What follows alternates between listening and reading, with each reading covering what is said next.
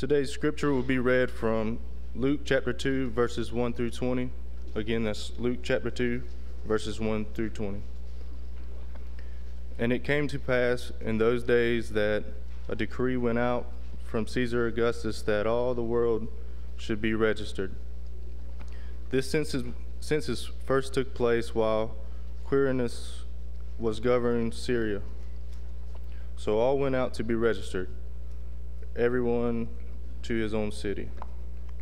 Joseph also went up from Galilee out of the city of Nazareth into Judea to the city of David, which was called Bethlehem, because was the house because he was of the house of and lineage of David, to be registered registered with Mary, his betrothed wife, who was with child. So it was that while they were there, the days were completed for her to be delivered. And she brought forth her firstborn son, and wrapped him in swaddling clothes, and laid him in a manger, because there was no room for him in the inn. Now there were in the same country shepherds living out in the fields, keeping watch over the flock by night. And behold, an angel of the Lord stood before them, and the glory of the Lord shone around them, and they were greatly afraid. Then the angel said to them, Do not be afraid, for behold, I bring good tidings of great joy, which will be to all people. For there is born to you this day in the city of David a Savior, who the Christ the Lord, who is, who is the Christ the Lord. And this will be the sign to you. You will find a babe wrapped in swaddling clothes lying in a manger. And suddenly, suddenly there was with the angel a multitude of heavenly hosts praising God and saying, Glory to God in the highest, and on earth and on earth peace goodwill toward men. So it was when the angels had gone away from them in, into heaven that the shepherds said to one another, Let us go to Bethlehem and see this thing that has come to pass, which the Lord has made known to us. And they came with haste and found Mary and Joseph and the babe lying in a manger. Now, when they see he had now when they had seen him they made widely known the saying which was told them concerning this child. And all those who had heard it marveled at those things which were told to them by the shepherds. But mary kept all these things and pondered them in her heart. Then the shepherds returned glorifying and praising god for all the things that had that they had heard and seen as it was told them.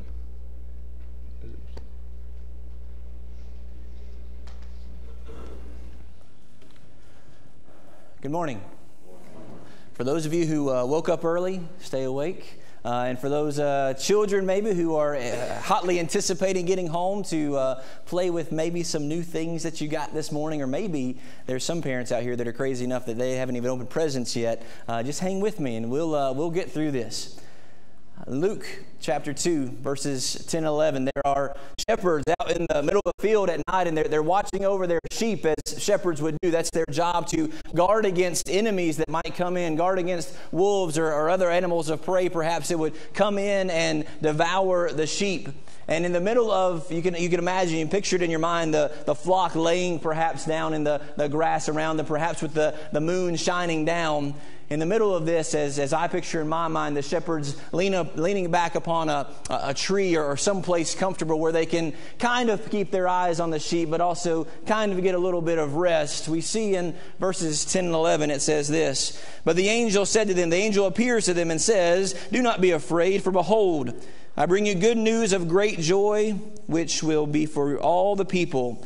For today in the city of David there has been born for you a Savior, who is Christ the Lord. Your version might say, Behold, today there is born to you a Messiah, A Messiah. What does that word Messiah mean?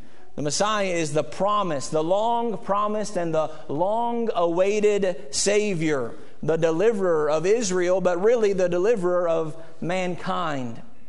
This morning, there are many folks that are uh, recognizing and appreciating Christ the Lord and His, his birth. And, and we want to take the, time to do that and, and point out a, a few things. First of all, we want to look at the prophecies of this coming Messiah. We also want to notice the, the praise that is given to this promised Messiah, the promise that this Messiah fulfills. And finally, what was the purpose of this Messiah who came to the earth? Let's look first of all at the promise. The signs were clear, the prophecies of this coming Messiah. Here, here are just a, a, small listing of some of the things that were prophesied. And what does it mean to prophesy? That means before it happened, there was someone who said, This is going to happen, and they were talking about Jesus. They were talking about the Messiah.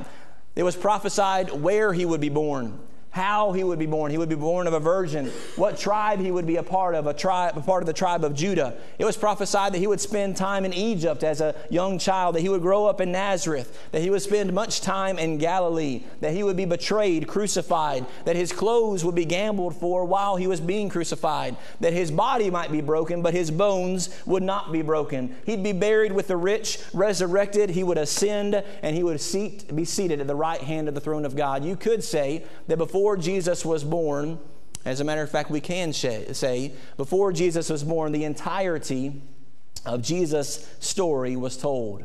Even before he was born, before he took his first breath out of the womb, we would know it was promised about what would happen and what Jesus would do. It is these prophecies and the, the scriptures that are found in the Old Testament about these prophecies that the, the earliest Christians studied those because they didn't have the, the New Testament like you and I have. They didn't have the Gospel of Luke that told them about the birth of Jesus. No, they had these prophecies of the Old Testament that would tell them here is what this Messiah, the one who's going to come and going to deliver you, going to save you from your sins, here's what he is going to do. And these earliest Christians in Acts chapter 2 on the day of Pentecost, when people first become Christians, it's the prophecies that point to Jesus that lead them to becoming Christians. And in Acts chapter 8, we read the story of the Ethiopian eunuch. Here's a man who's, who's not Jewish. He, he's from Ethiopia in Africa, and he's traveled all the way to Jerusalem to, to study and to, to worship God. And he's reading in the book of Isaiah, an Old Testament book, and he's reading a prophecy about Jesus.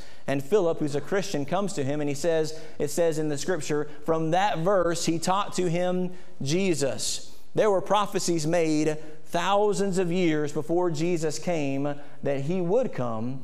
And not only would he come, but exactly everything that he would do and what his purpose would be. Again, this morning, uh, around the world, there are, are people who claim the name of Christ who are praising the birth of Christ. But let's notice who first praise the birth of Christ. Look back to Luke chapter 2. let's read verses 13 and 14 and then verse 20. Luke 2. 13 and 14, and then verse 20. It says, And suddenly there appeared with the angels a multitude of heavenly hosts, praising God and saying, Glory to God in the highest, and on earth peace among men with whom he is pleased. Who is it that first of all praised the birth of Christ? Well, first of all, angels and a host of heavenly beings. God and his heavenly host were excited, were praising the fact that Jesus, God's Son, God in the flesh, was finally born. We'll talk more about this, but the, the reason that he's excited about this is because God has, has long promised this, and now, with the birth of Christ, this is the very beginning of the fulfillment of the ultimate promise. Notice verse 20. The shepherds went back glorifying and praising God for all they had heard and seen, just as they had been told. Now, they had been told and, and, and seen some, some things that w- would happen in the future, but, but what is it that they, they are most immediately thankful for and praising about?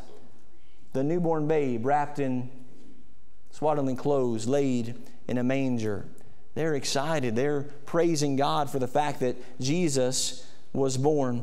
Also go on, as, as uh, it's Jewish custom that uh, Jewish boys would be uh, circumcised on the eighth day. In Luke chapter 2, verses 27 and following, read about a, a man named Simeon. He's, he's an old man, he's, he's an old priest, and he's been working in the, the temple for a long time. And, and it was told to him that before he died, he would see the salvation of his people. He would see the Messiah born, and he praises God when that happens. And later on in the verse, we see a, a, a woman named Anna, and she is a, a, servant who, who serves in the temple, and she also praises God. She's, she's lived in the temple basically her entire adult life. She, she was married to her husband for a short time, but after he died, she dedicated herself to the temple. She dedicated herself to the, the worship of God and the, the things that would need to be done, the, the work of God. And it says that day and night, she served in the temple, and she comes about in verses 36 through 38. Notice what it says about her. And there was a prophetess, Anna, the daughter of Phanuel uh, of the tribe of Asher. She was advanced in years and had lived with her husband seven years after her marriage.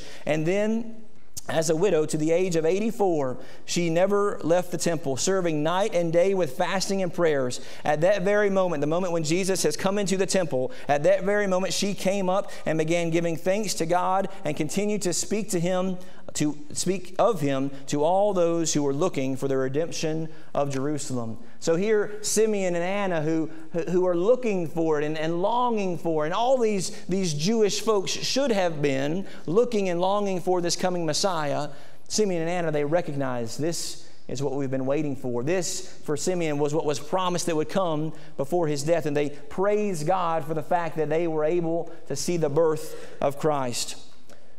Let me suggest to you that you and I should celebrate the birth of Christ. Not necessarily on December 25th. Uh, we, we don't know when Jesus was born. We're not commanded to celebrate Jesus' birth at any certain point and any certain day. But we should celebrate. We should be excited. We should be enthusiastic about the fact that Jesus was born.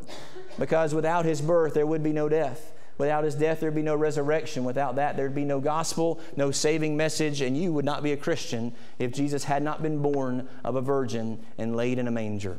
We should celebrate daily, every day, be thankful for the fact of Christ's birth every day of our lives. We should celebrate the fact that God put on flesh. In John chapter 1 and verse 1, it says, In the beginning was the Word, and the Word was with God, the Word was God. In verse 14, it says, And the Word put on flesh and dwelt among us. Uh, Jesus is God. Jesus put on flesh. And in Philippians chapter 2, verses 7 and 8, it talks about this as well. Philippians 2, 7 and 8, it says, Jesus uh, emptied himself, is what most versions say. You could also say there, Jesus laid aside his privileges, taking the form of a bondservant, made in the likeness of men. Being found in appearance as a man, he humbled himself by being becoming obedient to the point of death, even death on the cross. We need to celebrate. We need to daily be thankful for the fact that God put on flesh. All of us, I believe, if you're here this morning, you want to go to heaven. That's the place that you're trying to, to get. You live your life daily if you're a Christian, or you have told God that you'll live your life daily if you're a Christian. You're going to live your life today so that whenever your life ends, you can spend eternity with Him in heaven. That's where we're all trying to get. And He left that place to come here a, pla- a place of pain and turmoil and difficulty and death, not because we deserved it. We can, we can know ourselves and know that we didn't deserve that. We can look at the world around us and know that we didn't deserve that, but we can be thankful for the fact that Jesus put on flesh. We can be thankful for the fact that there was the fullness of God in helpless babe. In Colossians chapter 3 and verse 9 it says for in him that is Jesus all the fullness of deity dwells in bodily form. Not just in bodily form. Jesus could have come perhaps as a, as a, a full grown man. He, he, could have done that perhaps. Perhaps the, the will of God, the plan of God could have been fulfilled that way. But, but he chose for, for Jesus, God chose for him to go through every aspect of life. Everything that you have ever experienced, Jesus in some way experienced that. And we can be thankful for the, that fact. Turn to Hebrews chapter 4. Hebrews chapter 4. Hebrews chapter 4. Let's read verses 14 and 15. This speaks to this, this idea that we can be thankful for the fact that Jesus has experienced the things that we have experienced. Hebrews 4. 14 and 15 says, Therefore, since we have a great high priest, this is talking about Jesus, who has passed through the heavens, Jesus, the Son of God, let us hold fast our confession. Let's hold fast our confession. Why? For we do not have a high priest who cannot sympathize with our weakness, but one who has been tempted in all things as we are yet without sin. Any temptation that you face, Jesus faced that same temptation, but thankfully and praise God, he did not sin. Notice verse 16. Therefore, because of Jesus, let us draw near with confidence to the throne of grace, so that we may receive mercy and find grace to help in a time of need. Because Jesus put on flesh, because Jesus lived life as a man, you and I can have confidence in Christ. Because of Christ, because of this Messiah, you and I may receive mercy and find grace in a time of need. But not only should we praise God, we also recognize that Jesus, in putting on flesh, fulfilled the promises of the coming Messiah. Before there was Isaac, before there was Jacob, before there was the nation of Israel, before there was King David, there was a man named Abraham, and a promise was made to him. In Galatians chapter 3, if you'd like to turn there, Galatians chapter 3, you can read in, in great detail about this promise. Verse 17 says, Now the promises were spoken to Abraham and to his seed. He does not say, and to seeds, as referring to many, but rather to one, and to your seed, that is Christ. The point of that verse is saying that, that there was a promise that was made to Abraham, and that promise was fulfilled in Christ. It goes on in the in coming verses, and it talks about how this promise that all the nations of the earth will be blessed, that Abraham would have descendants as many as the, the stars in the sky, as many as the, the sand on the, the seashore, that, that, that his, in his seed all the nations of the earth would be blessed, that you would be blessed through Abraham's seed was fulfilled through Christ. And this promise was made long before the law was made. Long before Moses stood upon Mount Sinai and received the Ten Commandments, and then they received many, many other commandments, long before those commandments came that the, Jew, that the Jews put so much hope and so much uh, encouragement in, there came a promise 400 years before any of that. And it would be said in those verses that inheritance or being a child of God, being really who God wants us to be, is not because we follow a set of laws, but because of the promise that was made before those laws were created. In verses 26 and 27 of Galatians 3, it says, For you are all sons of God through faith in Christ Jesus. For all of you who were baptized into Christ have clothed yourself with Christ. And then verse 29 says, And if you belong to Christ, then you are Abraham's descendants, heirs according to the promise. This promise that was made is fulfilled, is accomplished in the coming of Christ. Even a young Jesus, a, a young man, uh, Jesus at, at 12 years old, knew that his mission was to fulfill the will of his father, was to do what God wanted him to do. He had a very specific mission. In Luke chapter 2 and verse 49, uh, after Mary and Joseph ha- have lost Jesus. And you think about the, the irony of that. Today we celebrate the fact that, that Jesus, the Son of God, God put on flesh, uh, the Messiah. We're recognizing that today, this, this morning, as we, we look at this in Scripture. Um, they, they lost the Messiah. The most important man who's ever lived, his parents lose him. So, so, parents, maybe that gives you a little bit of encouragement if you've ever made a mistake with, with your children. Uh, they, they've lost God in the flesh. Uh, and they find him finally in the temple, and it says in Luke 2:49, "Did you not know that I had to be in my Father's house?" Jesus knew as a young man that he had to be about his Father's business. At the end of that passage in Luke 2, verse 52, it says, And Jesus kept increasing in wisdom and stature and in favor with God and man. Jesus grew up as a child. Do you remember what it was like to be a kid? Do you remember whatever age you are? Some of you are children, so, so you know exactly what it's like. But do you remember what it was like to, to be in, in, in middle school or in high school or even in college? Do you remember those days and the, the difficulties of, of trying to figure out who you were and, and trying to, to get along with, with other folks and, and having parents that, that told you what to do all the time? Jesus experienced all of those things. But he did it perfectly. And we surely know that we didn't do any of those things perfectly. Jesus lived that perfect life. Jesus was dedicated throughout his life to bringing about his Father's will. I think that's most clearly seen in Luke chapter 22. Turn to Luke chapter 22. We'll read verses 39 through 46. In Luke 22, we find Jesus in the Garden of Gethsemane. Jesus is about to die. He's about to, to fulfill that ultimate promise of, uh, of being, being killed and being buried and being resurrected. He's, he's about to fulfill perform the gospel, the death, the burial, and the resurrection.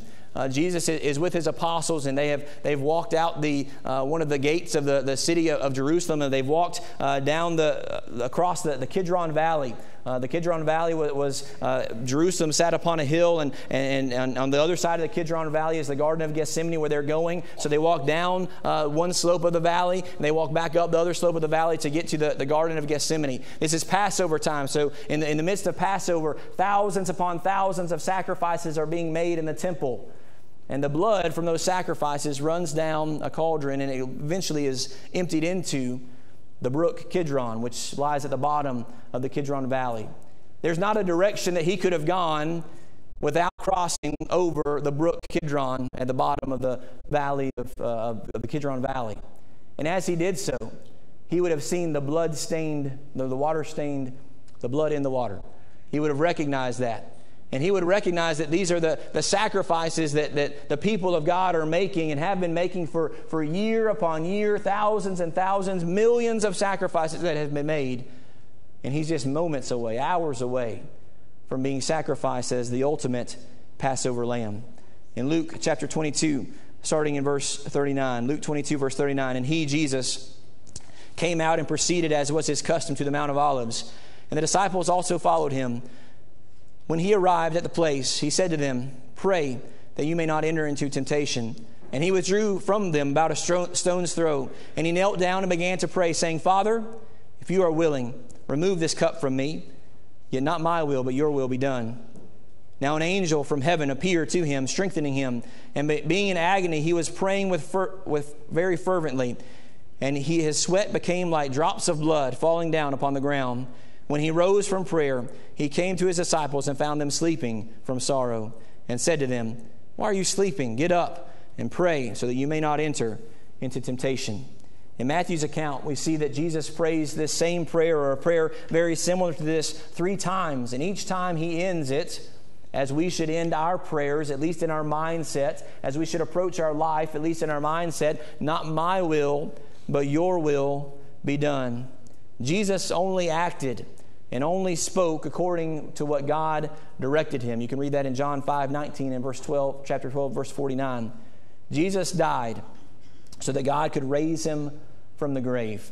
In 1 Corinthians chapter 15, 1 Corinthians 15, verses 54 through 57, uh, speaking of the, the eventual res- our eventual resurrection to heaven, Paul says this in 1 Corinthians 15, 54, starting. But when this perishable will have put on the imperishable, and this mortal will have put on immortality. Then will come about the saying that is written Death is swallowed up in victory. O death, where is your victory? O death, where is your sting? The sting of death is sin, the power of sin is the law. But thanks be to God who gives us victory through our Lord Jesus Christ. There were promises that were fulfilled. Promises made to Abraham, even promises made beyond that about uh, the, the fact that, that Satan would be defeated through the blood uh, of Jesus Christ. But let's notice lastly this morning, and most importantly, what was the profit? What was the purpose? What was the reason that God put on flesh, that the Messiah came? It's twofold. First of all, the thing that we must be thankful for is, of course, our salvation. And we know this. We, we recognize this. Those of us who, who claim Christ, those of us who, who, who are trying to live life as Christians and who study God's scripture, we, we recognize that salvation was the reason, was the purpose that Christ came. Romans chapter 3 and verse 23 tells us, All have sinned and fallen short of the glory of God. Everyone who's ever lived, except for our Savior, the Messiah, Jesus Christ, all of us have sinned. That's what Romans 3.23 tells us, what we already know. Romans 6:23 tells us the wages of sin, what we deserve because of that sin, is death, but the free gift of God is eternal life in Christ Jesus our Lord. We have eternal life because of Christ Jesus our Lord. Why did Jesus come? The most famous verse in all the world tells us that. A verse that is used by people who, who hardly claim Christianity at all and maybe certainly don't live like Christians very often. They know this verse. John 3:16. Why did Jesus come? For God so loved the world that he gave his only begotten son that whoever believes in him should not perish, but have eternal life. We know that verse. Maybe we, we often even try to avoid that verse because so many other folks use that verse and, and then don't live the, the type of life that they should. In the same way, sometimes uh, some people argue that you know we, we shouldn't recognize or, or, or, celebrate or talk about Jesus during this time of the year because so many other people talk about it this time of the year but don't talk about him any other time of the year. And, and that's true, and I, I can't deny that. But let's don't forget the fact that God sent his son to die for us so that we can have the hope of eternal life. Salvation hopefully is more important to us just than the, yeah, I'm saved and I don't really care about everyone else. Hopefully it's enough that we, we recognize that Jesus died for all people. What's the other purpose? I think in, in 1 Peter chapter 4, if you want to turn there, 1 Peter chapter 4, verses 10 and 11, we see also that not only did Jesus come so that he could save us, he also say, came so that we could be his servants. 1 Peter 4, verses 10 and 11. 1 Peter 4, 10 and 11 says this as each one of us has received a gift. Now, this could be talking about spiritual gifts, this could be talking about talents and abilities, but each one of us has received a gift. Romans 6 23, the free gift of God is, is eternal life in Christ Jesus our Lord.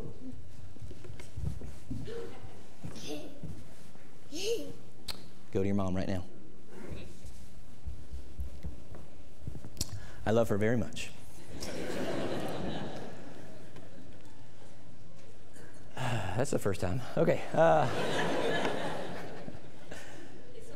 thank you. All right, 1 Peter chapter 4, verses 10 and 11. So we have received a free gift. That was your gift from me today. Uh, we have received that gift, right? The, the free gift of God is eternal life in Christ Jesus our Lord. And we're so thankful for that. And we need to be thankful for that. And we need to take advantage of the fact that people are thinking about that now, here, today, this, this, this time of year. It says, As each of us have received a gift, employ it in serving one another as good stewards of the manifold grace of God. Whoever speaks is to do one is speaking the utterance of God. Whoever serves is to do one is serving by the strength which God supplies, so that in all things God may be glorified through Jesus Christ, to whom, to whom belongs the glory and dominion forever and ever. Amen. Jesus didn't stay a baby. There, there, are, there are many people who are willing to celebrate the baby Jesus. There are far few who are willing to follow the Lord Jesus Christ. The baby grew up. He lived perfectly. He died horribly. He resurrected miraculously. And he reigns victoriously. The question for you is Are you celebrating the baby Jesus? Are you following the Lord Jesus? There were prophecies about him that were fulfilled. We should praise and glorify and celebrate the fact that God put on flesh. He fulfilled so many promises of God. He fulfilled the promise of God. But the question this morning is not if God has done his part, but if you have done yours. Are you following daily Jesus the Christ, the Messiah who put on flesh lived perfectly, and died for you. Your Christianity is not about how good you are. Our Christianity is about how good our God is and the fact that His Son died for us, was resurrected so that we could have the hope, and now is sitting at the right hand of the throne of God, waiting that day when God the Father will say to God the Son, Go. And that day is coming. Our question this morning is Are we ready for that? Do you have faith? Do you believe that Jesus is the Son of God? Ephesians chapter 2, verses 8 and 9 says that we are saved by grace through faith. We must have that faith. We must be willing to repent of our sins. In Luke chapter 9 and verse 23, uh, we must be willing to deny ourselves and pick up our cross daily and follow Christ. That's the, the picture of repentance is we, we stop doing anything else other than following Christ. Whatever else we're doing outside of following Christ, we don't do that anymore. we pick up our cross every day and we follow Christ. Are you willing to confess that with your mouth and with your actions every day of your life? Jesus says in Matthew 10, 32 and 33, If you confess me before men, I'll confess you before my Father who is in heaven. But if you deny me before men with your words or with your actions, I'll deny you before my Father who is in heaven. And are you willing to submit to baptism? Why? Because baptism is how you get into Christ. Romans chapter 6. And in Christ is where all spiritual blessings are. In Christ is being part of the body of Christ, being in the kingdom of Christ. And only those folks who are baptized into Christ will be in the kingdom of God in heaven one day for all eternity. Today, again, around the world, there are those who recognize the birth of Christ, and it's a good thing to do, not just on this day of the year. We should celebrate and remember the, the life of Christ. The, the birth of Christ is the beginning of that. We should recognize and celebrate, and we're called to and commanded to commemorate the Lord's death until He comes through the Lord's Supper. But the point is that the biggest question the thing that I want to challenge myself with and challenge you with, whether you're, you're here every week and I know you perfectly, or this is the first time you've ever seen me or I've ever seen you, is, not, is, is this Are you following, are you celebrating the baby who laid in the manger or the Lord who died on the cross? Because it sounds kind of easy to follow the baby because babies, the baby can't really command you to do a whole lot of things. But that man who died for you on the cross, God who died for you on the cross, he demands your all. If you have faith in him, you're willing to repent of your sins and confess him as your Lord and submit to baptism. If you're not a Christian, you can become one now. And if you are a Christian, then you know the answer to that question. Are you following Jesus daily? Are you picking up that cross, the burden that it is to be a Christian, which is really pretty light, pretty easy? Are you being the Christian that God has called you to be? If you need help with that, that's what the church is for. If you're not a Christian, you want to study about that, we want to study with you about that. If you have any needs this morning, please come as we stand and sing.